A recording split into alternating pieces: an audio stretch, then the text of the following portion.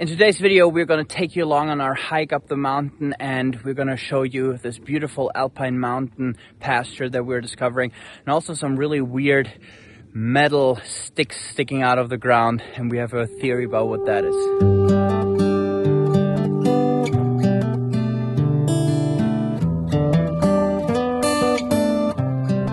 It is super windy. We had a very windy night um, and it's, it's really weird because it's like calm one moment, like right now.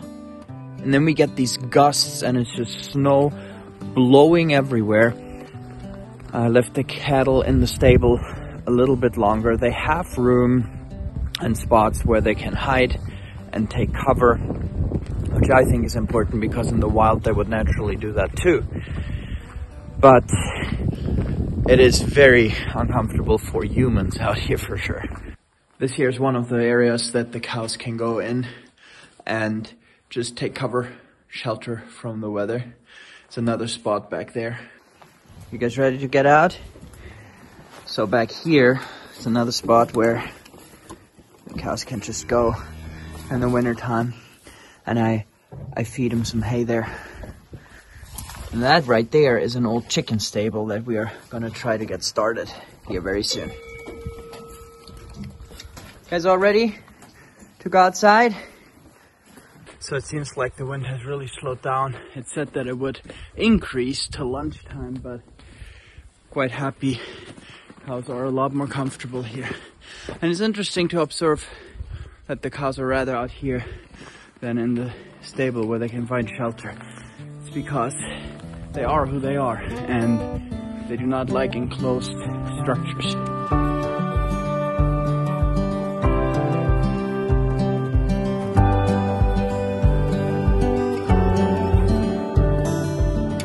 We're exploring another part of the mountain this Sunday. It's just very beautiful weather today. And this is a road we had never seen before. It doesn't go so steep up the mountain, but it's more, you know, just winding around the side of the mountain. And it's very, very beautiful here.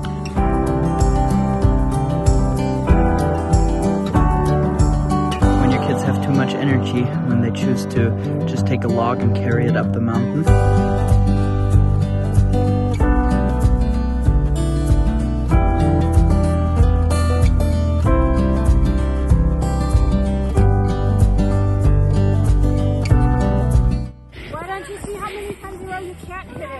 Yeah. So we just found all these railroad tracks just stuck here in the ground. We don't know what they are from, if they once were from one of these barrier fences from to protect the valley from you know mudslides and rocks rolling down the hill. But we really don't know what that is. Here it looks like a space where some kind of rocks and mudslides and flash floods could come down from the mountain. So maybe that's it like these railroad tracks just sticking in the ground.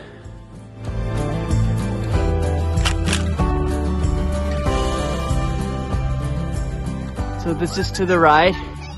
As far as you can see, just cliffs and rugged terrain. And this is here, the other side of the mountain, just going straight down. So we've walked to the place where the road officially ends on the map. But that's only to these rocks here and continues. Let's see. Crazy, these were placed here as some kind of border of some sort. You guys hear the water? So there's water coming from several places. Some there, and that's where the creek is. You see the water running there, and that's why they chose the pasture here. So the cattle in the summertime, or sheep or whatever it is, they, they have running water.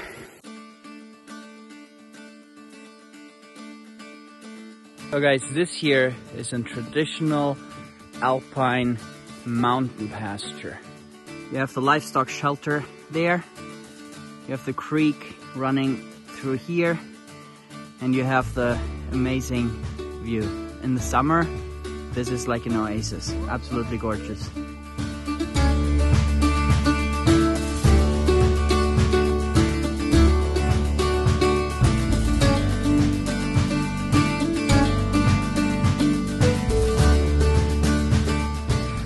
So when you have another 1500 meters of pure nature and mountain behind you, it is safe to drink from this creek. Unless there's a deer upstream peeing into the water.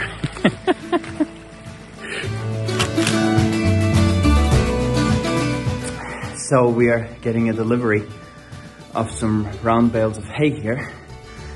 And of course, it snows today and it's supposed to snow throughout the day and the delivery is coming uh, this afternoon.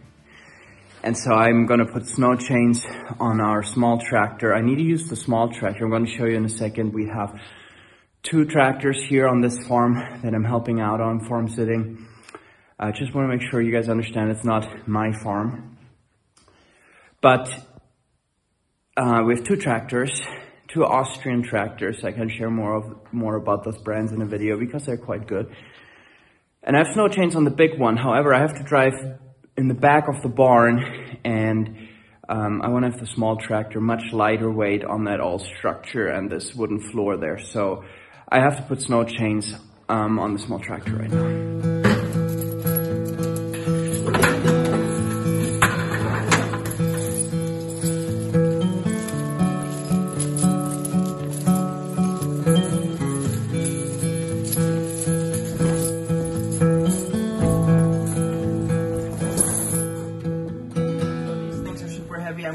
Front first. I'm going to drive slowly on top of them, hook them up, and then I'm going to lay down the chains behind and back onto them.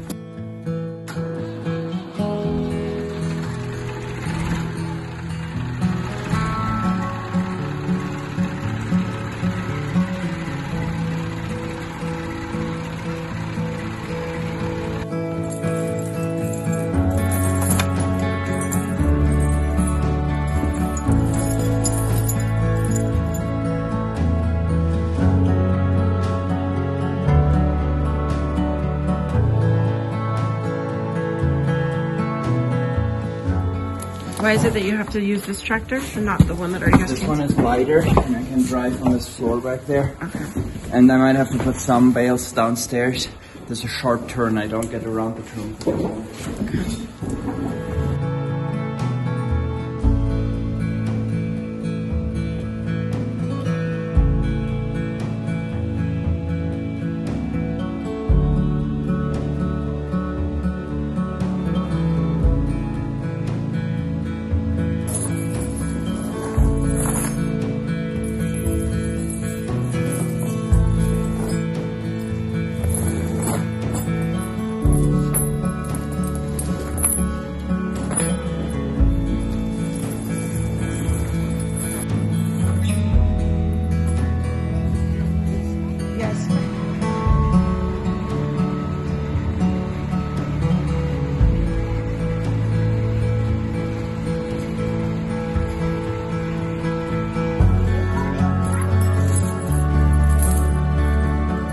Okay, chains are on.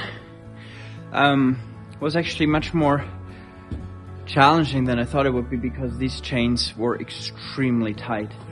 I put a wire through to pull them up as I slowly rolled onto them, but I, it was so hard to get them together. Well, I don't do this every day, but um, I think that those were chains that were quite tight. Anyway, ready for the hay to come and drive it into the barn here.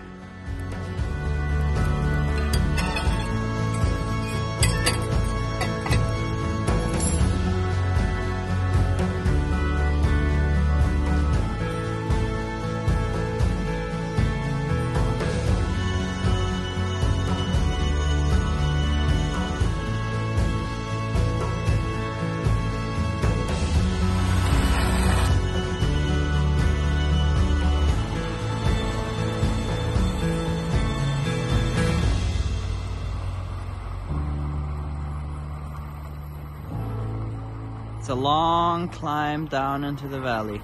you guys who have watched this channel for a long time know that I do not particularly enjoy driving machines, even though I do and I can and I took some extra license for big front end loaders and all of that stuff, but if you would put me in one of those trucks on a mountain like this in these conditions, that would be my worst nightmare. I would just hate it. I would rather empty a stable full of manure.